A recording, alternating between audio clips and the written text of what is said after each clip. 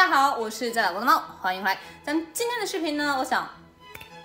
嗯，咱今天的视频呢，我想跟大家讲一下关于如果万一、假如、假设万分之一，但是也不是完全没有可能的可能下，假如你的高考万一不小心就那么的稍微手一个滑，或者说怎么地了，考的不是特别理想的话，那么你的下一步要怎么办？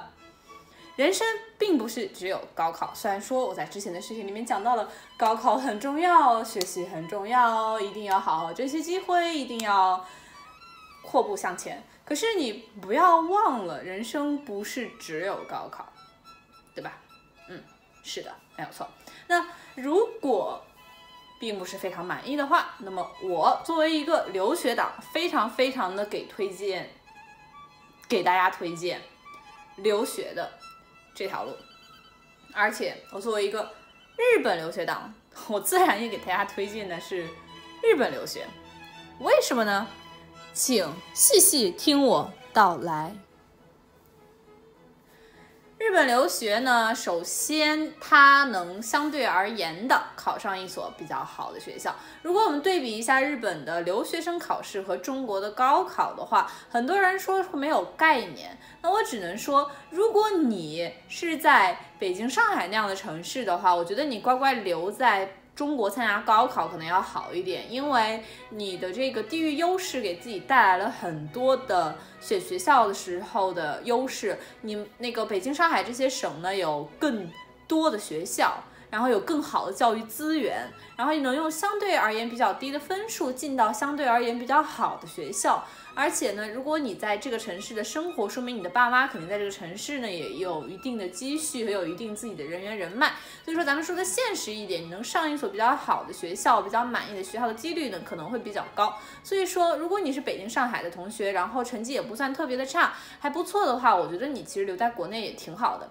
但是，如果你是一些中国的三线、四线城市的孩子的话，那么如果你还同时面临着高考没有任何的加分措施，然后自己高考分数考的也不是很高，然后自己本省的竞争压力还很强，那个升学的百分比非常的低的话，那么我觉得你一定要非常积极的思考一下留学的这样的一个选择。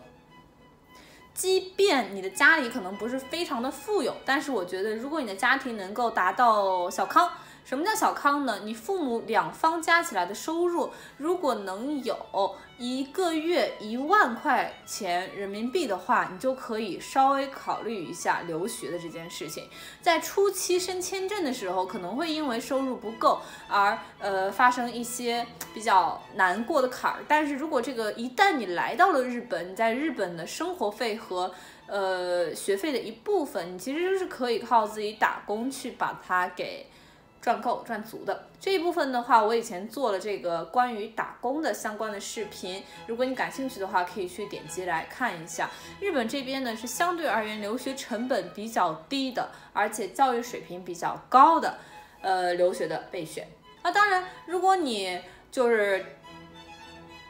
真的只是这次高考发挥没有发挥好的话，那我觉得你留在高考留在国内，咱们自己再复读一年，那第二年能考上一所好的学校，当然也是一个很好的选择哈。留学只是说你真的就觉得在国内的话，你只能上一个二本、三本，甚至上一个专科学校，然后想要到国内在国外再来拼一拼，再来。努力一下的话，你可以去考虑。我在网上有看到很多人会说，就来到日本之后也没戏。有可能，我不是说没有可能，来到日本之后可能也照样没戏。你肯定要来到日本之后，要认真的学习日语，要认真的学习在日本这边留学生考试考试的科目。你要认真的去调查你要考的每一所大学的招生的要求，并且去准备它的招生考试，你才有机会去考到那所你想去的学校。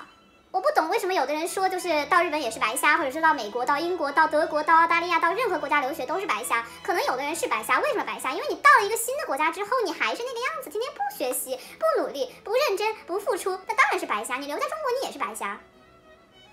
我觉得我说的话很现实，也很真实。我觉得没有任何的问题。